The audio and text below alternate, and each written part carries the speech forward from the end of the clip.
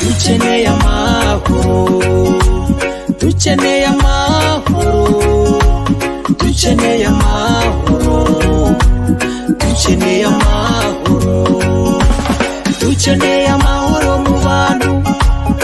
dukeneye amahoro muri afurika ku isi yose dukeneye amahoro dukeneye amahoro mu by'ubumwe uyu munsi turi ku cyumweru tariki cumi n'umunani z'ukwezi kwa munani umwaka bibiri na makumyabiri na kane. Tukaba twinjiye muri studio za radiyo ubumwe turi kumwe n'umutumirwa akaba ari christine mama christine mukama.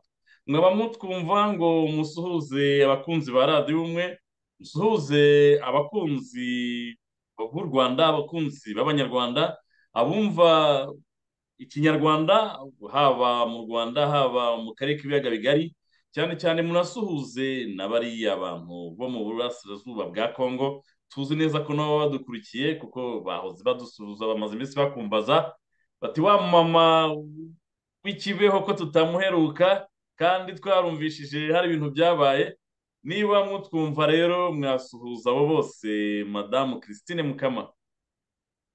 Ya murakoze francois. Kanawe mbanza guhobere ko tutaherukanaga. Eh kirisiti yeza akuzwe iteka ryose. Amen. Ndasuhuza rero ah, abanyarwanda mwese tutaherukanaga ngasuhuza eh, abantu ba bikira mariya abanyakibeho eh, kandi mbifuriza somusiyo nziza nubwo yarangiye ejo bundi rokenzuti Eh, nkasuhuza rero abakristu bose muri rusange nkasuhuza n'abavandimwe b'abakongomani eh, ba Ombe Nyamuhombeza mushiki wacu n'abandi benshi benshi b'abakongomani. Ah, dufatanije akababaro dufatanije ibyishimo dufatanije uru rugendo turimo rwo kwibohora. Eh, ndabashuje rero cyane kandi mwese mbasabira amahoro ya nyagasani akomeza abane namwe. Murakoze. Murakoze cyane. Tudatinze rero ngira ngo duhite tuze kuganira ku bintu bigera kuri bibiri turareba ibyaranze ukurahira kwa paul kagame no kurahiza abadepite. Imbwirwaruhame yakoze zigaragazamo ibintu bidasanzwe udushya twabiranze.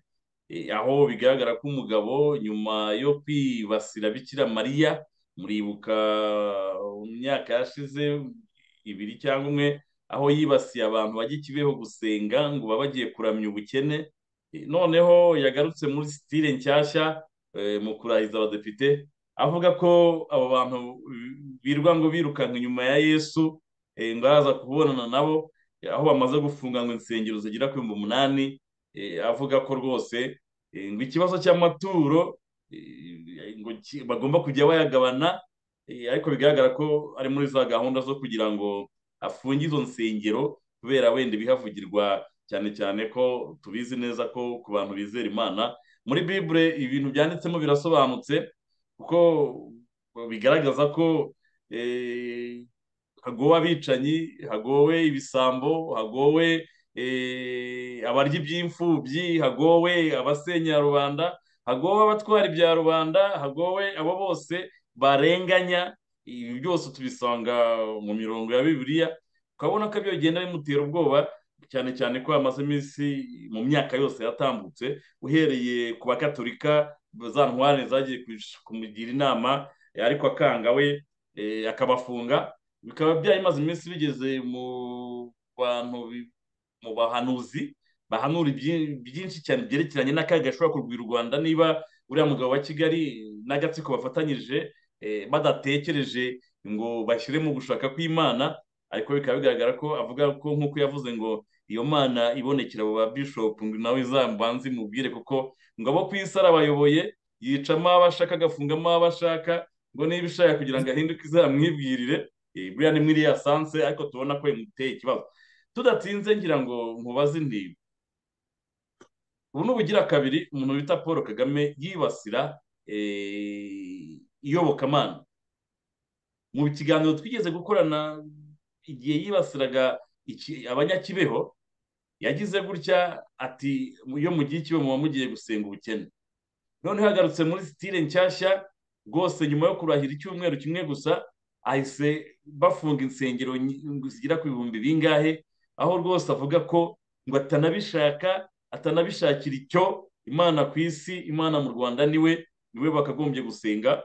Dukurikije n'uko avuga ku by'amafaranga bigaragara ko afite na gahunda yo kuba yashinga idini ryiwe rya paul kagame na fpr n'ikirwamana cyiwe fpr abantu bakazajya ari cyo bazajya batangaho amafaranga. Kuko ubirebye urabona ko ariho agarukira. Afite ikibazo cy'uko ayo madini atavuga ibyo ashaka ashaka bamuhanurira ko ari impanga ya yezu ari ari imana isubiza imyuka mu bantu nk'uko bariya abafaziri babivugaga. Noneho haza ababishopu cyangwa abahanuzi bazamubwira ko iyi ntambara ateza zigiye gukurura umuvumo cyangwa gukurura ibibazo abanyarwanda ibyo ntashaka kubyumva akavuga ati ahubwo muzifungire. Ibi ngibi tubisanga ahantu henshi cyane ko n'umunyagitugu hitira nawe mu minsi ye ya nyuma akimara kugera ku butegetsi nawe yikomye abantu bihaye imana cyane cyane ko berekanaga ko ubundi iyo urimo uri umunyagitugu uba urimo guhemukira urimo gukandamiza abaturage ubica ubafunga ubatwambura ibyabo ari byo tubonana na uyu mugabo nawe kuko tubona ari fotokopi idantike ya hitira ibyo iyi ntambara ya paul kagame ko tuheruka ubushize yibasiye kibeho urabitubwiraho iki? Bikubwira iki? Ko mu by'ukuri mubizera? Bajya bavuga ngo samusoni ngo samusoni ni samusoni uriya wategereje ibimenyetso ngo icumi. Ibi bintu bitubwira iki? Bitubwira iki nko ku bantu bizera iyo tubona imyitwarire ya paul kagame na kiringi mashine yiwe? Francois urakoze cyane kumbaza kuri icyo kibazo. Ariko reka tubanze dusenge gato kugira ngo ibyo tuza kuvugira hano tuyoborwe na roho w'imana kandi dukomeze dusabire u rwanda n'abanyarwanda kuko ibihe turimo ntabwo byoroshye ndetse n'akarere kose ka regiyo de garara kubera ko kugarijwe n'ibintu bikomeye cyane. Nkaba rero nifuza ko nabanza nkavuga agasengesho noneho tukabona kuganira kuri icyo kibazo wari umbajije. Ku izina ry'imana data na mwana na roho mutagatifu amen. Ni roho mutagatifu usanganye imitima yo kwemera bagukunde ohereza roho wawe byose bibe bishya n'isi zabone guhinduka. Dusabe mana wamenyesheje abakwemera roho mutagatifu. Turagusaba kubwirizwa nawe kundi ibitunganye no kunogerwa nawe iteka bwa yezu kirisiti umwami wacu amen. Nyagasani tweretse u rwanda n'abanyarwanda tweretse perezida warwo paul kagame n'abo bayoborana tweretse impunzi z'abanyarwanda zandagaye hanze imyaka irenga mirongo itatu n'izirikiri mu mashyamba zitaratahuka aho abo waduhaye kutubera abashumba bananirwa kutuvugira ahubwo bakavuga ko igihugu cy'u rwanda kitagifite impunzi namba kandi ko nta n'umuntu ugipfa kandi twumva bapfa buri munsi. Ndakwinginze rero ko ari wo mushumba wa kiliziya ukaba n'umutwe wayo werekeza amaso yawe ku gihugu cy'u rwanda n'abanyarwanda ndetse no ku karere kose ka regiyo de gararake maze satani zahigabije uzitwike mu izina ry'umwami wacu yezu kirisitu ndabisabye. Amen. Ku izina ry'imana data na mwana na mutagatifu. Amen. Francois rero urakoze kumbwira kumbaza icyo kibazo duherukana koko tuvuga bya kibeho paul kagame avuga ko abazajyayo azabashyira mu makamyo akabajyana ahantu. Rwose ubwo natangajwe na somusiyo yabaye ejo bundi. Mbonye kibeho haragiye abantu barenga ibihumbi mirongo itandatu. Nk'uko babivuze mu binyamakuru byarashimishije cyane. Nagira ngo mbabwire congratulations bakristo b'abanyarwanda n'abo mu karere mwese mwavuze muti ibi ntibidukanga reka twebwe tugende dukore icyo tugomba gukora dukore icyo imana itubwiriza gukora muri iki gihe.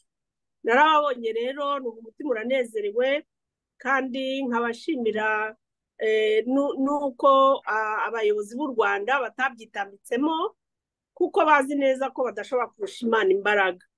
Bakomereza aho rero mu kureka abana b'imana bigenga mu bwisanzure bwabo gusenga imana ni ubwisanzure bwa buri muntu gusenga imana ni ku mukirisitu amasengesho ni kimwe n'ibiryo duha umubiri kugira ngo ubeho umukirisitu udasenga nawe aba yapfuye byamurangiriyeho.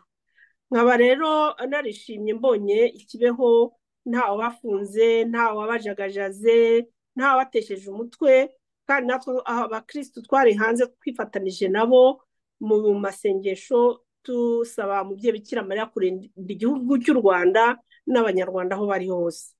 Nkabashimira n'umubyeyi bikira mariya ngira ngo urabona ndamufite hano tuba turi kumwe buri munsi yerekanye igitangaza sinzi niba mwarakibonye cyabereye mu zuba. Biriya bitangaza byo mu zuba bikira mariya yabyerekanye ahantu hose yabyerekanye irurude yabyerekanye fatima ahantu hose yagiye abonekera iyo izuba rije rikabyina mu kirere barimo basenga barimo babonekerwa abashaka kubabwira ati turi kumwe bana banjye. Ndababona ndi iruhande rwanyu ntimugire ubwoba nubwo muri muri iyi si y'akababaro n'akaga ariko turi kumwe. Ubwo rero iby'ikibabyo byaranshimishije ku ruhande rumwe kubera ko nabonye nyine nta kintu abakirisitu babaye mbona bigenze neza cyane rwose bishimishije. Ariko icyaje kubabaza ni inkuru numvise bavuga ko bafunze amadini bafunze ngo amaceci arenga igihumbi na magana ane. Numva ari menshi cyane. Kandi ngo bagikomeza no kuyafunga. Numvise rero n'ijambo ry'umukuru w'igihugu paul kagame avuga yuko asubiza pasiteri rutayisire pasiteri rutayisire narabwira ni ukomere cyane kuko ubundi yari yavuze ukuri ariko yumvise ntekereza ko hari abantu bamukanzeho muri za sekirite zabo batari amagambo bavuze aragukoraho. Pasiteri rutayisire aragenda asa n'uwivuguruza asa n'uwagaza kagame ariko kagame amukoze isoni. Amukoze isoni aravuga ati sinshaka bambeshya bambembereza ngo sinarimbiza ati ni ngewe ubiri inyuma. Ndabizi ndanabishaka kandi ndanabyifuza ko bikomeza. Hariya rero kagame nyine uramureba ukavuga uti uyu muntu wa mugani ni ukumusengera kuko atazi ibyo akora. Niko navuga. Kuvuga guhagarara ugashaka kurwanya imana ugashaka kubuza abantu uburenganzira bwo gusenga imana yabo kabone n'ubwo baba basenga satani ibyo ni uburenganzira bwabo nta hantu nzi mu bihugu biri kuri iyi si bibuza umuntu koshipinga ibyo ashaka koshipinga of course harimo ibishimishije ko hari amadini y'inzaduka azana satani ayo ngayo yafunze umuntu yavuga ati wenda tugiriye neza nk'amadini yambura azangwa arambura cyangwa abandi wihangisha ngo basenga inzoka n'ibindi. Ariko nk'abantu basenga imana bakigira hamwe bagasenga kubona bafite urusengero ukabiyenzaho ngo narwo ngo rwujuje ubuziranenge. Ubuziranenge se? Ubuziranenge bw'urusengero ni ubuhe? Ko abantu bashobora no kwicara munsi y'igiti bagasenga. Kandi baba bari hamwe bagasenga bagataha. So mbona rero icyatumye afunga ariya masengero yose ni uko yatinyaga ubuhanuzi bari gutambutsa. Ko nawe ujya ubibona François kuri yutube ubuhanuzi bwose buba buriho buba bumubwira ngo ingoma igiye kurangira. Ibyo rero ntabwo paul kagame ashaka kubyumva. Niyo mpamvu avuga ati abo bantu bari kuvuga ibyo ntibafunge ikindi urabona biriya bihano bahaye igihugu cy'u rwanda bijyanye n'amafaranga n'imfashanyo birumvikana ko mu bukungu bahungabanye cyangwa bazahungabana mu minsi iri imbere ifaranga ryabo rigasa n'iritaye agaciro we rero akavuga ati buriya ni niyenza ku madini kuko abantu niyo bajyamo ntawabatumiye kandi bakagenda ari benshi kandi bakagenda buri munsi. N'igihe bashakiye ati nzashyiraho ibintu byo kubasoresha noneho nanababwire ko iyo misoro tuyigabana. Ibyo rero na byo ni satanike sinzi niba paul kagame atabyumva kuko ntabwo waba usoresha abaturage umusoro w'amasambu ubasoresha umusoro w'inka ubasoresha umusoro w'ihene n'inkoko hanyuma nibajya no kwisenyera ngo amaturo ngo ngo batuye ngo nawe ngo uyafatemo ngo uyafatemo icya kabiri. Biriya ni ibintu satanike ni ibintu bidakwiriye. Geze ntabwo ndi rutayisire ngo ndamwagaza mvuga ngo paul kagame ngo ntabizi yarabyivuye ko abizi ahubwo ngenda amusobanurira yuko ari ibintu satanike. Ko ari ibintu adakwiriye gukora nk'umukuru w'igihugu ko ari ibintu akwiriye ntaho ndabyumva wenda byarabaye ariko sinzi umuntu numvise kuri yutube ambwira avuga ko umuntu wabikoze kuri egizegitoma ari umuntu witwa hitireri hitireri wo mu budage. Ngo nawe yagiye gufata amacece arafunga ibihumbi n'ibihumbi bagiza arasoresha akora nka biriya. Ntabwo rero paul kagame ni umubyeyi w'igihugu niko tumwita kuko akiri perezida w'u rwanda mu gihe kuri uriya mwanya turabimwubahira. Ariko twajya tumubwiza ukuri ko niba afite fotokopi yo kuyobora nk'iya hitire yo mu budage ndizera ko atifuza kugira endingi ndifuza ko atifuza kuzarangiza nkawe. Ashatse rero yabihindura ntihigane hitire ngo afunge amadini ntihigane hitire ngo asoreshe abakirisitu ntihigane hitire ngo atoteze ubwoko bw'abana b'imana. Hitire yatoteje abayahudi abayahudi ni ubwoko bw'imana kuko bw'abana b'imana kuko ni bwo yeza avukamo.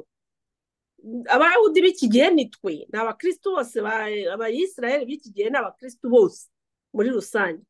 Ubwo rero niba ari gutoteza abana b'imana nk'uko hitireri yabatoteje akaba ni kwigana purane za hitireri uko yayoboye akaba sinumva ko ataterwa n'ikimwaro cyo kwitwa hitireri ngewe unyise hitireri cyangwa umwana wanjye ayobora ukamwita hitireri nahita amusanga amugira inama mwana wanjye ibyo ukora bireke garuka mu murongo mwiza hitireri aho ikivume ku isi aba n'ikivume ikuzimu aho yagiye. Nta muntu wakwifuriza ko umwana we cyangwa inshuti ye cyangwa uwo ukunda cyangwa uwo uzi yagira endingi nk'iza hitireri paul kagame rero ntatubabareye yo kwiha gukopera hitireri kuko ibyo yakoze ku isi yabaye ruvumwa bityo nawe azarangiza ingoma ye atari ruvumwa areka abantu basenga nk'uko basengaga aho abantu duruwa yo kurenganya abantu yitwaza ububasha afite murakoze. Murakoze cyane.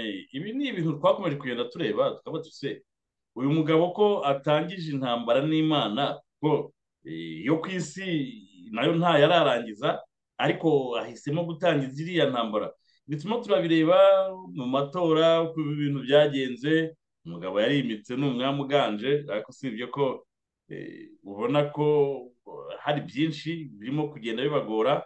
Uribuka ko ubwo burinkeni twabivuze kenshi cyane kuri radiyo umwe ubwo burinkeni yajyaga kigali yarajyanywe n'ibintu bine kubwira buriya butegetsi bwa kagame ko bugomba kuvana ingabo zabwo muri congo zigafungura pose sabagina zigafungura imfungwa za politiki ndetse n'urubuga rwa politiki waje kuyibona aho yihaye gutuka ingabire ngo ka kagore ngo kavuga ku mujenosideri ngo kandi kifuza kuba perezida ngo ntibishoboka mu gihugu cyiwe. Ahangaha bintera kwibaza nkavuga ngo ko buri gihe umwe uturuka ibukuru wabonye ejo bundi nyuma yo kwita abanyarwanda ngo ni ibifobagane mu kwiyamamaza ngo ibipfumbafu noneho mu kurahiza abadepite ngo ni ngo ni indindagire iyi myitwarire ya paul kagame ahatuka abayoborana nabo kuko hariya yari ari arimo abwira abadepite n'abasenateri n'ababajenerali kabadi b'abanyabwoba batazi icyo gukora iyo ababwiye ngo murindindagire mwa abanyarwanda mwe murindindagire. Yabwiraga bariya bari kumwe nyine kuko ni byo ni indindagire kuko bakurikira umusazi wigendera yuhimaza impaka wigendera. Biriya bintu bivugaho iki?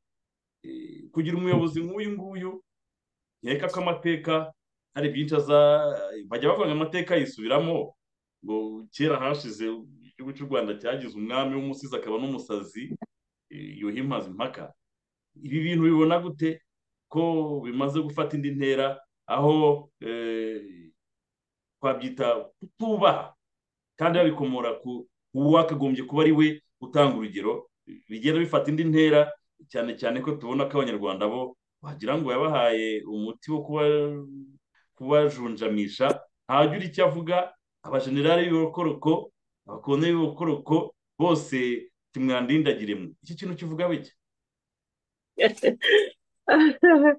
Yewe cyakora ntekereza ko abanyarwanda ibitutsi bya paul kagame bitakibarakaza ahubwo bamwe bageraho bakumva bisekeje.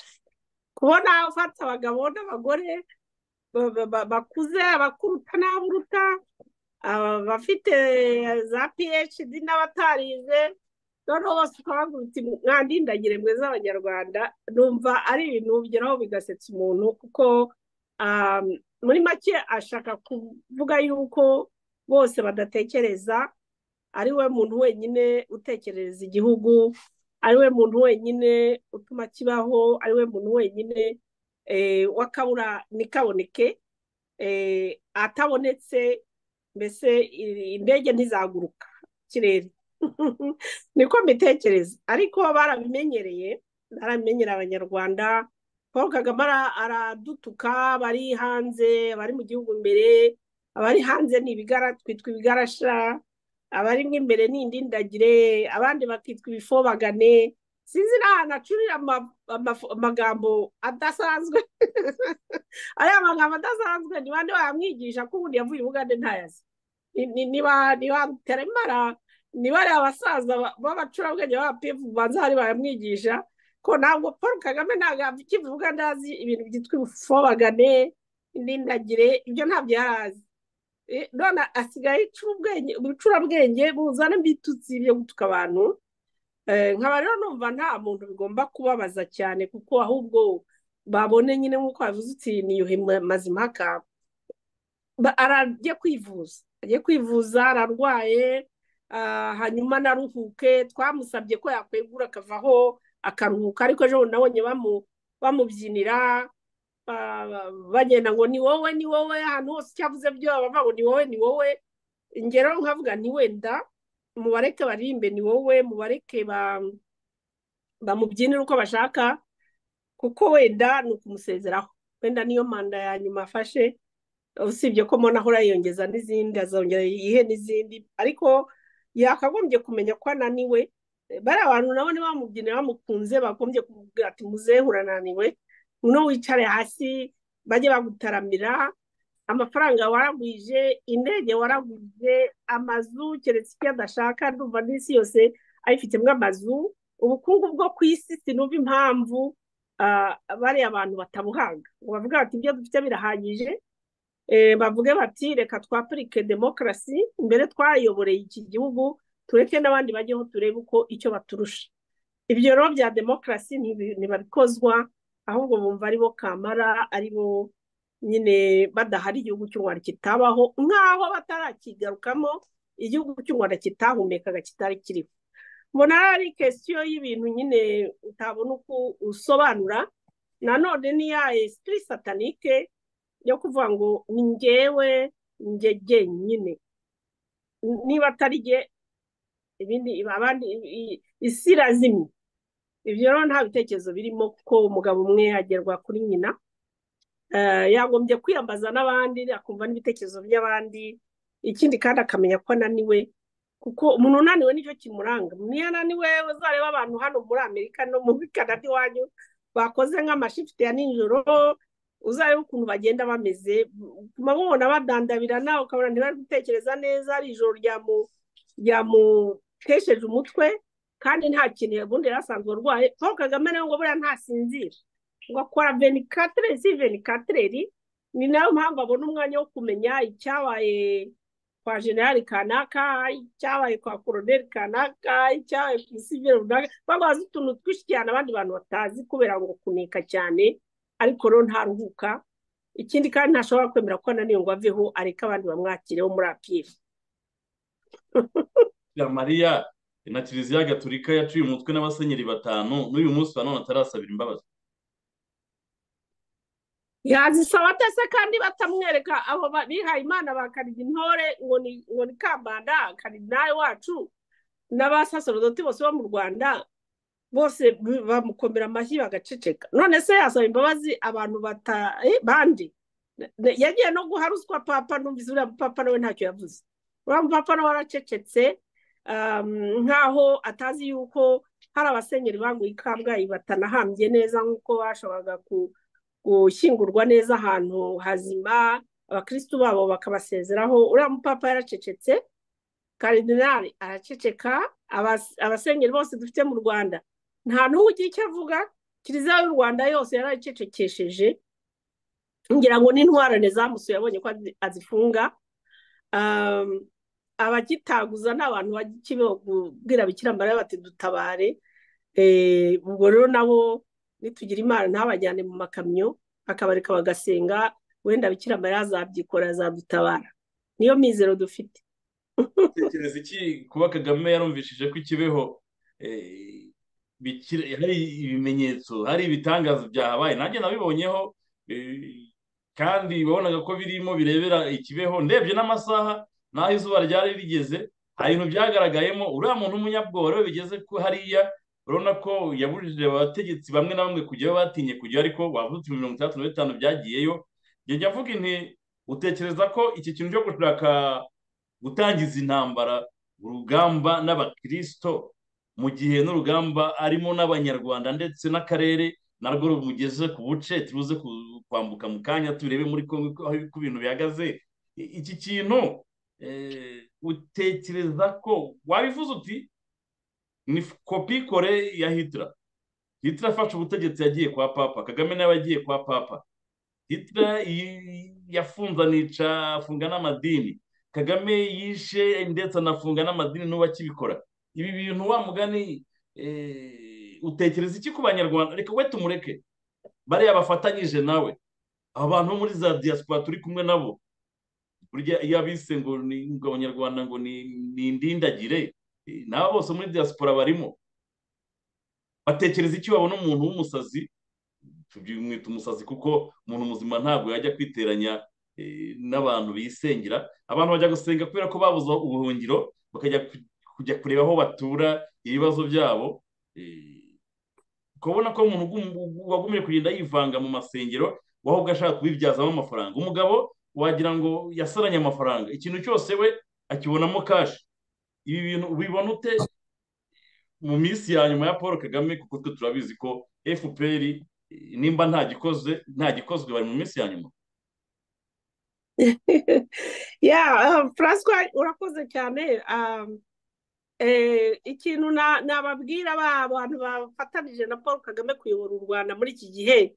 Eh, nababwira yuko iyi minsi imana ariyo yabahaye kugira ngo bicuze bahinduke barebe uko bashyira ibintu mu buryo bareke gukomeza kwishyiraho no kwikunda no gutekereza ko abantu bari hanze tutari abantu cyangwa se abaturanyi babo ah, atari abantu ku buryo bashobora kugenda bagakandagira umuturanyi wese w'ikindi gihugu bashaka bagasahura igihugu bashatse baturanye bagatera uwo bashatse eh, bakavuna umuheha bakiyongeza undi. Ibyo bintu imana yabaretse barabikora imyaka imaze kurenga mirongo itatu Ah, ariko aka gahenge bafite ko muri ino minsi ni imana yabashyiriyeho kandi ndabibabwira mbikuye ku mutima Eh, ni imana yakabashyiriyeho kugira ngo barebe uko bayihindukirira barebe uko bashyira mu gaciro. Barebe uko amatwara bafite satanike bayahinduramo amatwara y'imana. Kuko nanabamenyesha ko ingoma ya kirisitu yarurutse ndumva ejo barabibonye ikibeho. Kubona izuba ribyina kuriya abakirisitu bakavuza impundu buriya ntabwo abantu rero bafite satani bafite amaso ntibabona. Buriya ntabwo babona yuko imana iyo ari- kumwe n'abari abantu bari kibeho ntibabona ko ari sinya ikomeye bikira mariya yabakoreye na yezu kirisitu kugira ngo babereke ko bakiri siri purasi bakiriho ingoma ya kirisitu iri muri bo rwagati. Ingoma ya kirisitu rero ntabwo ishobora kubangikana n'iya satani. Ukiri mu ijambo ukiri aho hantu utekereza ko kagame na kiringi mashini bashobora kuzahinduka nka sawuri Oh yes, for sure. Why not? Birashoboka kuko nta kinanira imana. Nta kinanira ni we waje guhinduka akahindukamo pawulo. Yes ni no isa nta kwanga kwita ngo nabi ariko ndavuga ngo isa nta kwanga kwita neza reka mba ariko mpindura umugani kuko amazina ababyeyi bise abana akenshi akunze no kubakurikira. Papa rero wamwise paul ubwo nyine wenda ushobora gusanga hari ikintu kijyana na bibiriya gishobora kuzamo kuko nta bubasha bushobora ku buto bw'imana. Nkaba mvuga rero ni akaga yagize ariko njye byaransekeje ni umuntu watubwiye ati abantu baje ikibeho harimo abakongomani. Ngo maze abakongomani barasenga ngo babwira bikira baratakamba ati mama wa wa duniya sinzi ko bavuga mu giswahili sinkizi cyane mubabarire basaba bikira mara ngo bamuga ati dutabara dukize paul kagame wayogoje igihugu cyacu. Bamwe barisaba mu gihugu cya paul kagame babwira bikira mara ikiro bati dukize paul kagame n'ingabo ze ziza gutera igihugu cyacu. Kandi barimo barabivugira mu gihugu cy'u rwanda. Ariko ngo babivugaho tuvuga nta kwikanga ntaki babisaba bikira mariya ngo ahagarike intambara igihugu cy'u rwanda cyashoye kuri congo. Baza kubisabira mu gihugu cy'u rwanda. Ni ibintu rero bishimishije cyane kuba baragize ubwo butwari bakaza bavuye muri congo ari cyo kibazanye. Bati bikira mariya na yezu bururukiye hariya mu gihugu cye ariko we nta nabizi. Nta nabyemera. Arabizi ariko ntabyemera. Twebwe b'abakongomani tubyemera reka tugiyeyo dusabe. Hafite intasi zagiye kureba ni bande bagiyeyo mu bayobozi? Babonye ko noneho umugore wa kabarebe nta wari uhari. B'abagore b'abayobozi b'abakoroneri benshi bajyanaga nawe babonye ko nta bari bahari ngo barabihanije. Ariko aba bafite intasi zikurikirana ngo zirya za magigiri ziba zihari buriya na rya zuba riri muri ceza sinapu cati ya mbere cyangwa watsapu ya mbere ni we wayohereje. Ahubwo uriya mugabo wa mugani simbizi ko tuzabyita ariko hari ibimenyetso byinshi yabonye byo guhinduka ariko umugabo we wa mugani akomeje ku ntabwo nzi ikimenyetso ategereje keretse cyakora hari dushobora no gusaba kugira ngo kiramara amubonekere yamubonekera amubonekeye noneho yavuga ati ubwo mwiboneye ahari? Ndabyemeye ugasanga nyine abaye nka ya ntumwa ya yezu kirisitu tomasi izindi ntumwa zabwiye bati twabonye umukiza yagarutse yaje asangira natwe ifi tumaze no gusangira ifi ni we ni muzima. Noneho toma yanga kwemera ngo aravuga atoya dati ngewe nzabyemera ari uko nkoze mu rubavu rwe mu nkovu yo mu biganza bye no mu nkovu yo mu rubavu rwe ni ho zabyemera wasanga paul kagame noneho yabaye tomasi ariko niyo yaba tomasi tukamusengera bikira mara akazamwiyereka akamubwira ati rekeraho gukomeza utoteza abanyarwanda ufunga amadini yabo wivanga mu kwemera kwabo ufunga amaceci ubatoteza ubica ubafunga ubashyiraho igitugu imyaka ikaba irenze magana atatu. Nka buriya koko ntashobora kumva ko naniwe ngo arekeraho yicare abi ese kurya bibaza ukiri aho abantu bararenganywa bagasenyerwa bikagenda gute? Ari amacacu yose agaceceka. Ariko babakozeho bashakuje. Hari abantu nabonye mu makomanteri bati mwe abapasiteri mwe mutatuvugiye badusenyera kangondo ya mbere n'iya kabiri mutadusengeye badusenyera gatsata mutadusengeye bica kizito mutadusengeye bica babantwari william mutavugiye. Abantu nka cyuma mutavugiye ba ivoni damange mutavugiye bari abasenyeri ngo babone ubutabera bashyingurwe nimuze tujye guhinga inyanya. Ibi bintu ntabwo ubona ko kagame abona ko ingabo zimubangamiye ari bibiriya abanyarwanda bagumya gusoma kuko bibiriya itanga ihumure bati nyuma y'ibi byose hari uwiteka kandi uwiteka azapfukamisha. Uwo wihaye gukurikirana ubwoko bw'imana. Yes for sure. Byo niko byo bizagenda kuko iyo urebye uko kibeho yatangiye marerezuma bariya bari muri guverinoma benshi ntibazi ko kibeho yaje uko yatangiye. Ntabwo bazi ko kibeho itangira kubonekerwa. Ubutumwa nyamukuru bwari burimo bwari ugutegura abanyarwanda kwitegura ibyago bigiye kugwirira u rwanda mu ntambara rpf inkotanyi yadukanye muri mu gihumbi kimwe magana cyenda na mirongo cyenda ku itariki ya mbere z'ukwakira. Icyo ni cyo cyamanuye ijuru eh, imyaka cumi mbere y'uko batera bikira mariya aza kuvuga ati hazaba ibintu bikomeye. Hanyuma akavuga nyine uko abantu bazashaka kwicamo ibice n'uko ubwicanyi buzavuka na jenoside. Biriya byose byarahanuwe kibeho mbere y'uko bagera mu rwanda.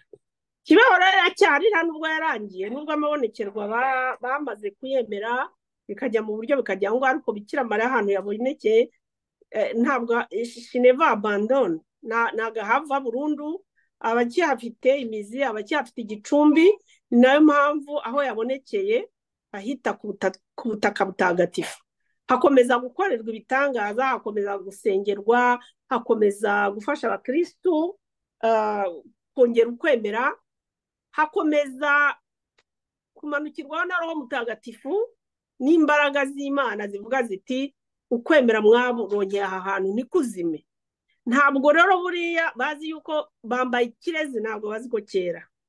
Bambaye ikirezi ntabwo bazi ko kera. Kuba uri umuperezida w'umunyarwanda cyangwa uri minisitiri mu rwanda cyangwa uri sekirite generale icyo waba cyo cyose nta na kimwe kiri hejuru y'imana ukagira amahirwe akaba hari umusozi imana ishobora byose umuremyi w'ijuru n'isi umwana we yamanukiye aho ngaho na nyina baza kwereka ko bakunze tompepe le peuple rwandais c'est le peuple chéri de dieu. Kubera ibyago byari byatubayeho icyo gihe byendaga kutubaho ariko ko imana idukunda yohereza umubyeyi wayo kutuburira kutuyobora kutubungabunga kuduha kamfoti no kugendana natwe. Ntabwo rero yaturekuye baribeshya. Nubwo hashize imyaka mirongo itatu nibashaka bemere kibeho nibashaka bayiyoboke cyangwa babyihorere umubyeyi arahari atureba tuzi ko igihe nikigera azatubohoza we ubwe n'umwana we igihe nikigera bazatubohoza kandi bazabibona ko ari bo babikoze nta n'umwe muntu uzatubohoza ntabwo tuzibohoza ku bwacu ahubwo nibo bazabikora. Kandi biri mu nzira. Bashatse rero bahinduke bahindukire imana bemere ivanjiri bave mu mashitani barimo bave mu bintu ngo bya sinzi ibintu ngo basenga. Noneho nabonye haradutse n'umuntu utubura amafaranga ma sinzi niba baramubonye. Yitse impano y'imana abandi bamwita impano ya shitani uriya muntu yirirwa atubura amafaranga mu mujyi wa kigali ntibamufunga ariko bagafunga amadini. Mu ijambo yavuze yashatse kwerekana ko ngo amadini ngo ngo ni abatubuzi ngo hamwe utwara igihumbi bakaguha bitatu ariko watwara icumi bakayatwarira rimwe. Kubera ko yakinnye matatu kagame mu kampala niyo mpamvu abigereranya umuzungu anarara. Wabyumvishije utwara igihumbi ngo bagahita baguha bitatu watwara bitatu bakaguha icumi bakagutuma makumyabiri bagahita bayatwara. Ubona ko ni umuyayi wigendera kuko yakavuye ku kampala rodi hariya mu- muri muzungu anarara eh, hari umukino muzungu anarara mu kampala bayitaga eh, ana katute Eh, muri ntukabonye aba ari butatu babuca urangwa ni umuhanga cyane. Ibintu byose we abibonamo kashi. Ni ikibazo dufite gikomeye cyane.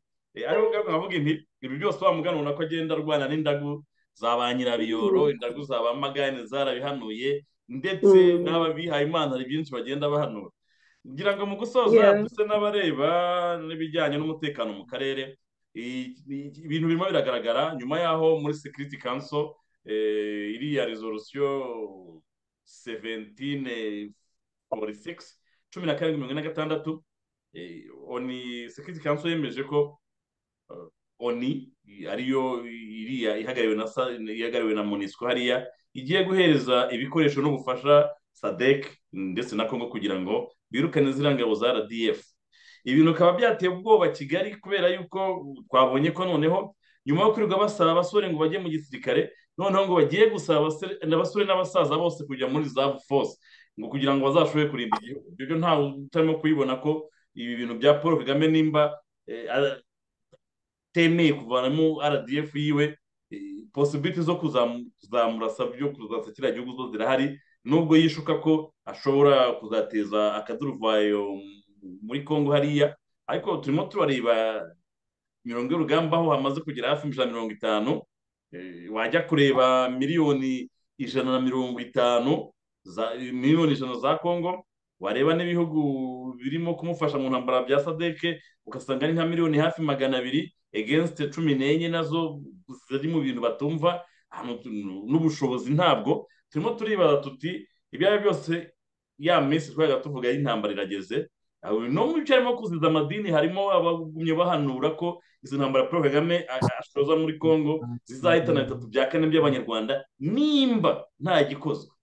Ibi bintu ngira ngo nse nk'ubikubazaho biterwa n'iki kugira ngo igihugu cyose gifite generali bangana kuriya bageraho atwara abanyarwanda mu iyi ntambara y'ubwiyahuzi nawe ubwe avuga ngo ngo tuzirwanaho. Ariko turabizi ko kagame we ntashaka gutakaza ubutegetsi kubera ko abanyamerika bamubwiye bati we need regime change. Barabimubwiye ko agomba kugenda. Ariko akaba bihindura agasaba abanyarwanda bose ngo bahaguruke bafate amacumu n'imbunda ngo barwane ngo ku gihugu cyabo. No abanyarwanda bagomba kumenya ko we arimo kurwana ku butegetsi bwe.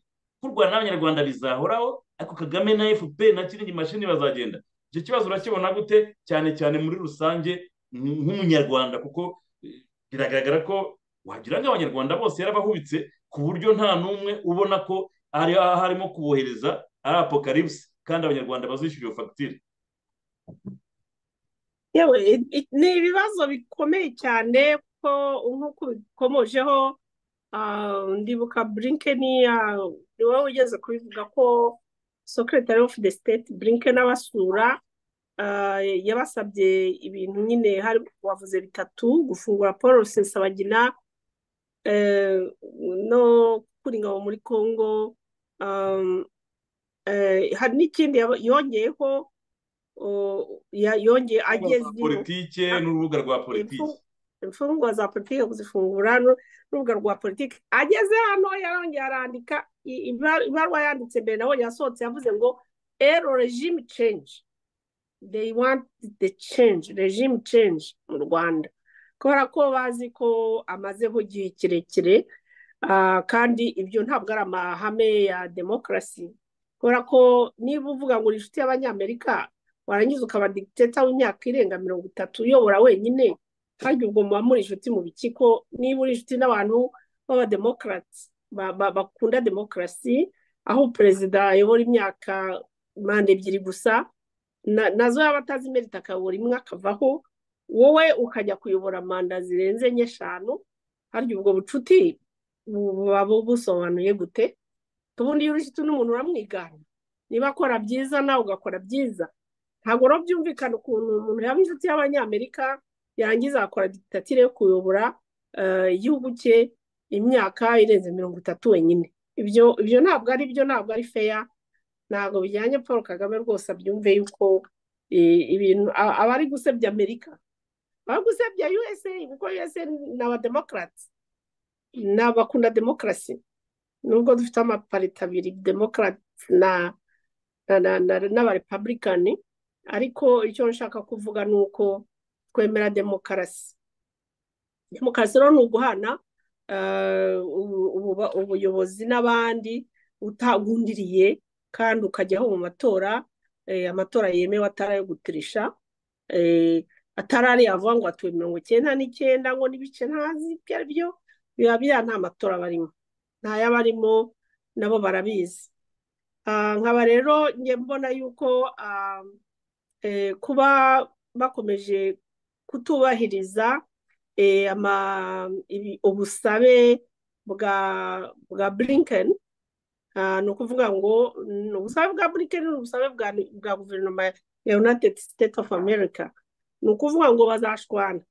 Cyakora batanze paul rusesabagina na byo barabikoze. Ariko nabo baravuga ngo naceceke. Paul rusesabagina azagomba guceceka iyo umuntu ari muri amerika akurikiza konstitusiyo yaho konstitusiyo yaho iravuga ngo dufite twese droit de speech umuntu ushaka kuvuga igitekerezo cyose urakivuga waba ukomoka mu rwanda cyangwa muri vietnam cyangwa hehe niba uri ufite ibyangombwa bya leta y'amerika uba ufite droit ya free speech speech kuvuga icyo ushaka ni cyo utekereza ntabwo rero umuperezida yaba ayobora igihugu cy'u rwanda ngo aze kubwira umuturage wahoze ari uwe kera uba muri amerika cyangwa mu bubirigi ngo ntukavuge ntugakore politike ngo y'u rwanda. Iyo ariyo yose yakorana uburenganzira bwe. Ibyo ni ugushaka kwigira hitireri kandi namubwiye ko nigira hitireri bwazaba yifuza kugenda nkawe kandi ntabwo ari byo. Itire yarangiye nabi ni ruvumwa nawe ashatse yahindura ake karenge hakiri kare mm, ntazave ku isi ari ruvumwa nka itirire kandi birashoboka hari abahinduka ku munota wa nyuma. Hanyuma rero ubwo amfeti hari ikindi warumbajije ni igiki? Numva ari ibyo ngibyo ndashaka kuvuga. Sinzi niba nabisubije byose. Cyangwa niba hari icyanciyeho ndi kuvuga ibya kagame birambabaza cyane. Nkibaza igituma atabona sinye zose imana imuha wahinduke. Zose ikamuca mu biganza ahubwo yabona sinye nk'aho yahindutse agakaza umurego. Urumva iby'ikibaho yarabiretse ariko agiye kurwana na yezu noneho n'amacece ngo ngo ba- ngo ayafunge yose. Rero si byo ni iki? Banye ngo basenye katurika na n'abaporoso. Oya gaturika yayikoraho ze- simbizi harya mu mbariza mu byo yafunze harimo kiliziya yigeze afungara hariya nabatirijwe indera harafunze naho harimo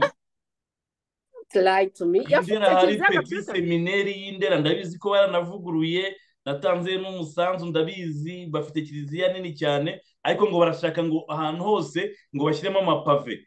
Hari ikibuga ni kinini cyane wagira ngo kagame afite kompanyi ahubwo ikora amapave icuruza na sima kugira ngo babone babone iryo soko. Urabibona ibyo bari muri abantu bashakisha amafaranga hafi. Kuko mu byo babasaba barabananiza. Iyo bavuze imirindankuba barayitumije buriya. Iyo bavuga ngo mu bibuga byose bashyiraho amapave kugeza ku muhanda hariya hantu indera ni ahantu hanini cyane birasa nko muri miliyoni ijana kugira ngo bahakore aho hantu mu gihe bakirimo kubaka katedrali nshyashya iriya katedrali nshyashya na yo batirijwemo hakiyoborwa n'umutaliyani ni iya kera. Baza kuyubakiraho peti semineri sevensa ariko ariko simbizi simbizi ariko buriya muriya mugabo ashobora kuba ashaka kuzazana ibigirwamana. Wabonye ko afite ikigirwamana bamuzaniye? Nta kibonye ikigirwamana abayapani. Sinzi aho cyavuye niba ari koreya niba abayapani arimo agisenga ntakibonye uriya mugabo ni ururo kubera ko ibintu byose bibarira mu mafaranga. Ushobora kuzasanga azanye ikintu nka kiriya cyaba- iki- iki- by'abashinwa cyangwa by'abahinde akaba ari byo muzajya mujya kujugunyamo amafaranga noneho fpr yose ikayajyana ika- ikayamushyira. Ariko usibye ko yibeshya nawe ku inosi ku inosi turi abagenzi twese buriya. iminsi asigaje ku ino si ntabwo ayize ni cyo ciye abanyarwanda nimumurakire yararangije nimumurakire yararangije niba arimo ari gufunga ngo ngo amacece akize agaturika atujuje ubuziranenge. Amacece akize agaturika atujuje ubuziranenge na yo nzigiye mu rwanda na yo nabonaga nabonaga imfe ye nzi ko yafunze insengero wenda ziriya z'abantu b'inzaduka bigira pasiteri ntawe yabyigiye akaza indera hariya ni ho nabatirijwe ngewe ngewe hariya indera indera ni kiliziya nini cyane ifite ikibuga kinini cyane kuvuga ngo uragishyiramo amapave hose. Ukeze n'abashobora kugira ngo bazashyiremo pave bahuze na peti semineri sevensa? Kuko ni mu kigo kimwe. Ni amananiza gusa. Arashaka kuhabambura ngo hubakire ikigirwamana. Nawe numvise banavuga ngo hamwe eveshe yari iri i kigali naho bari babwiye ngo abapadiri ngo bimuke ngo icyo kibanza baragishaka ariko ubanza byarapfuye. N'igishushanyo ngo bazabaha hariya hawuze dizi hawuze dizinefu taranti hari ahantu ngo arahashaka. Arahashaka uriya mugabo niba hari umubamuruzi gutwara iby'abandi simbizi wagira ngo hari uwamuroze gutwara iby'abandi none se ugira ngo icyo rwigara yazize si biriya bibanza se icyo bantuza se uyu muri sorasi bamuranyi bazira si ibi bibanza byiza biri imbere ya komvesheni senta hariya ubona ko umugabo umugabo ameze nka wa mwana wajya kubona igare ryose ritambutse ati ni irya data akarikurura niko ateze akabigase kwa nkakeza ibyo mu rwanda bitebwo biteye ubwoba. Cyakora ikintu ugiye nabwira abantu b'abakirisitu baho ah, ni ugusenga cyane kuko urumva niba umuntu afite ibintu by'ibigirwamana niba umuntu yumva ko imana mu gihugu cye agomba kwifungira imiryango aho ya- ya- ya- yashobora gufunga hose bavuga imana akahafunga umuntu ni posisi yanzweho. Ni uguhangwaho ni ugusenga cyane bikomeye abakirisitu bavandimwe mugasenga n'ubushize n'ubunini nabibabwiye ibyo bikira mariya yatubwiye gukora mu bihe bikomeye kuko ndumva ari ibintu bikomeye cyane nta kubikerensa nta no kubi- ku- ku- ku- kubi- ku- kubisuzugura. Nubwo twumva tuvuga tuti ni mazimaka? Mazimaka nyine umva yari umurwayi wo mu mutwe akajya akora ibintu ashatse agera n'igihe yica umwana we atabizi ari ugusara. Kandi ntawe wamuvuje kuko nta n'uwari uzi ko arwaye bagira ngo ni ibintu umwami arimo ashaka kwigira nabi. Ariko iyo bigeze aho umuntu yica umwana we ntabwo aba ari muzima aba yasaze. So ni ugusenga cyane mugakomeza mukavuga rozari nababwiye ko rozari tugomba kuyihorana nk'uko bikira mariya yatubwiye ishapure n'izatsinda amashitani ya kagame. N'abayahorana ikabatsi muyivuge buri munsi nongera mbibibutse nk'uko nababwiye mu kiganiro cy'ubushize. Buri munsi n'udashobora kuvuga eh, ndakuramutsa mari urabona harimo ndakuramutsa mara mirongo itanu. N'udashobora kuvuga mirongo itanu ujye uvuga icumi. Kiramara ikibara tujye tuvuga icumi niba twananiwe twanebwe twakoze imirimo tukatwumva twa mbese kwa kundi wumva uri gusinzira pe? Ujye uvuga icumi ngo izisigaye zose mirongo ine zajya zikuvugira. Hari nawe yabwiye ati niyo wavuga eshatu gusa buri munsi. Ibyo ni igitangaza gikomeye azajya adukorera. Ikindi ntabwo ko mu- mutunga amazi y'umugisha. This is the holy water. Buri mukristo wese akaba ayafite amazi y'umugisha mu ga- mu gacupa nk'aka ukazajya. Niba ugiye muri ayo manama mba muri guverinoma ya paul kagame najya nyajyana najya mu nama nka- nkamutera cyangwa nkatera ahantu hose muri iri rumu turakoramo inama kuko harimo imyuka mibi n'amadayimoni birirwa abantu baba baterekera i kigali bafite ngo nabo ngo bampano za satani birirwa batura amafaranga bakabihorera biriya byose ni satani yagutse iki gihugu cy'u rwanda. Ye nababwiye n'iyi mudari wa sikapurari rero. Uyu nguyu rwose muwugire buri mukristo wese aba awufite muwambare muvuge ishapure buri munsi mwambara n'iyi midari ya mirakirezi medari y'ibitangaza bikira murakora ibitangaza. Izo ni intwaro zikomeye mugomba kuba mwicaranye abakristo b'abanyarwanda kuko paul kagame na guverinoma ye bagiye kubakururira intambara iteye ubwoba. Ntabwo ari yo nyihanuye abayihanuye barayihanuye ndimo ndasubiramo ibyo bavuze. Intambara iteye ubwoba yuko yasuzwe n'abakongomani mu gihugu cya kongo ngo ngo ba- ngo bara- ngo barakiruta iyo simbona n'ibintu baba biratamo kongo ifite rezabita miliyoni miliyoni nk'ibihumbi banza ari miliyoni nk'ijana presque ijana z'abakongomani. Abanyarwanda turi miliyoni gusa zitarenze icumi ngo n'ebyiri baratubura bakajya kuri cumi n'ebyiri. Niyo mwazana natwe tuvuye hanze ngo tubafashe kurwana intambara y'abakongomani na yo twatsinda abanyarwanda. Simbona ikintu mukomeza mwiratamo mujya gushotora ibihugu by'abaturanyi kandi muzi neza ko muzatsindwa. Muzakururira bene wacu akaga mwa bantu ba rpf mwe mwaragakuruye nako byararangiye ariko muramutse muvanye muveritura hariya. Abakirisitu nabo bagakomeza bagasenga. Hari ikintu imana yakora cyiza kandi ku banyarwanda twese. Hari ukuntu imana yaca inkoni izamba intambara ibugarije yugarije igihugu cy'u rwanda igasubira inyuma imana igasubiza amaboko y'igihano mu kirere ahantu aganitse hejuru yanyu. Ni icyo ngicyo mbona nababwira nta kindi ndabakunda kuko sinifuza ko igihugu cyanjye cyaterwa ngo gihinduke ivu n'umuyunga. Harimo abantu banjye harimo urukundo rwanjye harimo imizi yanjye ntabwo nifuriza u rwanda ikibi ahubwo mbifuriza guhinduka gusenga no gusengera abo bayobozi banyu bagahindura imitima satanike bafite. Kandi paul kagame ibigirwamana byose afite akabijugunya akabijugunya kuko ingoma ya kirisito ntabwo ibangikana n'ingoma ya satani. Kirazira. Iyi ngoma iyo urumuri ruje umwijima urahunga.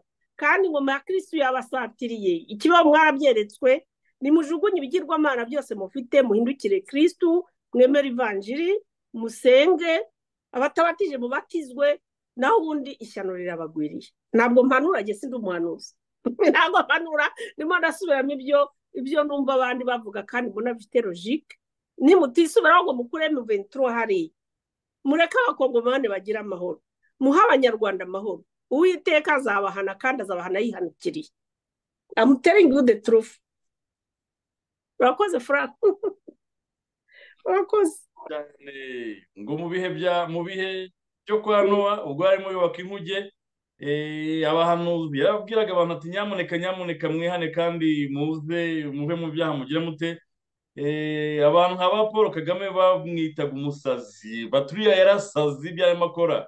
Abakomeje kubona rero kongo na yo irimo yiyubaka ivuga iti ariko ngewe paul kagame nubwo ugize umufezeri dogere ngenza kuvana ku butegetsi.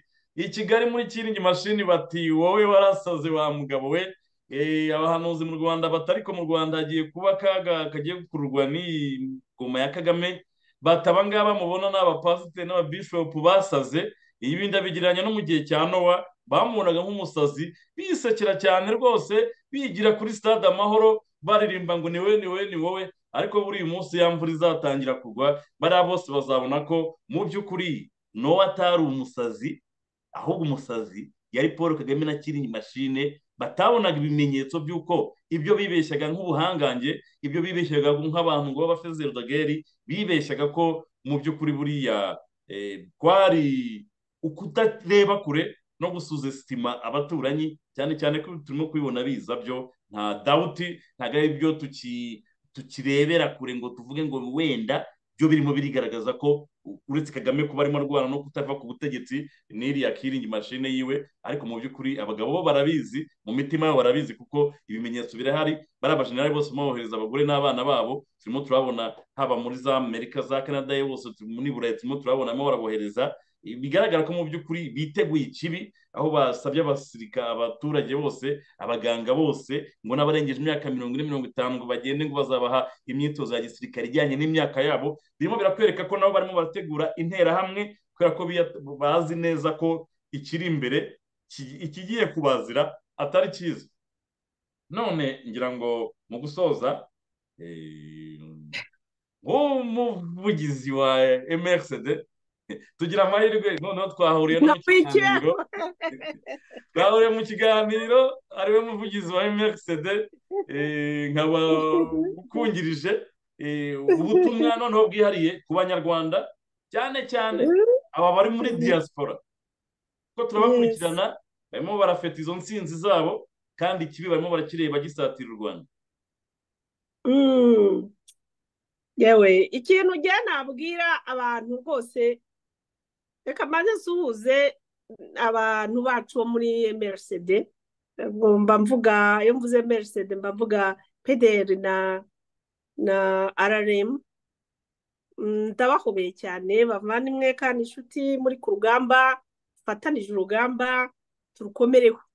Dukomereho kuko ah, turi mu bagomba gutabara bene wacu. Ariko nk'uko nabibabwiye kandi imana ikomeye itari ikigirwamana. Dusenga imana ariko nk'uko umunyarwanda bivuga aravuga ati imana ifasha uwifashisha tugomba kwifasha first tugasenga hama n'imana ikatugenda imbere tukayiha n'umwanya.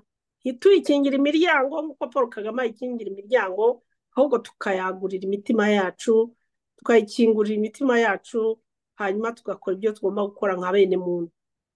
Ndabasaba rero ko twahagurukira ubumwe muri twe ubumwe n'andi mashyaka ya opozisiyo ari hanze aha ubumwe mm, n'abari muri sosiyete sivile ubumwe aho turi hose kugira ngo nka bene kanyarwanda. Twagize amahirwe tukaba turi inyuma y'igihugu cyeguriwe amashitani kuko bari abantu bafashe igihugu bahita bacyegurira za bayari. Biragaragara ngewe ndi i kigali ntabwo nigeze numva ngo hari umuntu witwa mpano ya satani ugenda agatanga ubuhamya murabibona kuri yutube ngo yavuye ikuzimu ngo ntabwo yigeze ngo yavutse ngo agiye kubona ngo abona ngo afite imyaka ibiri ngo ari ku kirwa ngo hariya ngo muri ntuze ngo mu kivu ngo none ari i kigali agenda mu bantu uwo muntu bakamureka akagenda mu bantu agatura amafaranga akicisha abantu akabandwa izuba riva akavuga amashitani ye ntibamufate bakamwihorera ahubwo bagafata abari gusenga imana nzima. So igihugu cyacu cyeguriwe rero satani tukaba twifuza ko cyagarukira cyagaruka mu maboko ya nyagasani cyagaruka mu maboko ya kirisito umwami nk'uko umwami rudahigwa leon pierre hariya ni ho yitwaga. Rudahigwa leon pierre ageze ko naryo ryari izina rye mutara wa gatatu yeguriye ah, igihugu cy'u rwanda kirisito umwami hari i nyanza. So amasezerano yakoze tugomba kuyahagararaho nk'abana b'imana tukayarwanira mpaka yongeye agasubirana kiriya gihugu. Tugasubira i nyanza gusubiramo muri aya masezerano ririya sengesho umwami yatuye u rwanda tugomba kujya turisenga nk'abanyarwanda tukarivuga nk'uko umwami yarikompoje kuko riraryoshye riryoheye ibihe byose n'ibisekuru byose bya mwene kanyarwanda gahutu gatwana gatutsi twese nta n'umwe uvuyemo. Hari abanyanumva bivugishwa wako n'iby'abami harimo ntacyo bivuze. Niba ubwami bwaravuyeho ntabwo rudahigwa kuba yarabaye intwara y'igihugu ari byavuyeho. No kandi uko yayoboye igihugu cy'u rwanda akagitura kirisiti umwami uwo murage mwiza yakoze tuba ari wo dusigarana. Ibindi yakoze bitari byiza tubyibagirwe. Ntitukavangura amoko cyangwa tuvangure ingoma tujye tureba icyiza. Kuko na paul kagame buriya hari icyiza afite tuzagisesengura tuzagira tugisigarane kabone niba yaranagiye. Icyo cyiza afite tugisigarane nta kuvangura rero mwene kanyarwanda mwene kanyarwanda turabavandimwe. Mureke turwane urugamba rero tudasubira inyuma nka emerisede rw'ubumwe kandi n'abari mu gihugu dufatanye nabo. Abari mu gihugu baragowe barahwereye. Nta kuntu waba mu gihugu cyigenga gifite amasengero twubaha abihaye imana twubaha kiliziya zose uko zakabaye ndetse n'abayisilamu tukabubaha noneho ngo ujye kuba mu gihugu kimeze kuri bafunga insengero bica abantu bakora ibintu bibi nka biriya satanike ngo ube utaragowe abo bantu rero bakeneye kubohozwa kandi mu bazababohoza turimo twumve iyo nshingano rero ko ikomeye tuyisaba imana kandi izayiduha. N'abari mu rwanda rero namwe turabakunda kandi turabatashya kandi turabizeza neza yuko imana ibirimo kugira ngo mu gihe kitari kirekire muzongere muhumeke n'insengero zanyu zongere zifungurwe. Natwe twaheze hanze tugaruke twongere tubane nk'abana b'imana tujye dusubira ikibaho gutendereza no kubyinira bikira mariya tuvuga tuti dutete twifitiye umubyeyi. Ngayo nguko furanga ni cyo nabasara bose mbasaba umugisha ku mwana gukomera kandi bariya ba ruharwa mbasabiye nabo guhinduka. Kuko nta munota n'umwe imana idashobora kukugirira imbabazi ngo ihindure amateka yawe ayareme bahinduke meza bizere imana bayikunde bayihindukirire byose bizaba bishya. Niba batayizeye batagereza igihano cyayo. Murakoze. Murakoze cyane. Reka tubashimire rero bwa radiyo umwe mama christine. Ni iby'agaciro kuba twabagize uyu munsi. Kandi dushimire abo bose twari kumwe kuri radiyo ubumwe n'abazakurikira iki kiganiro.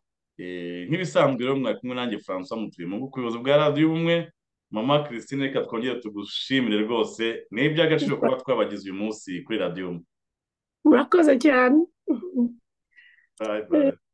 Bayi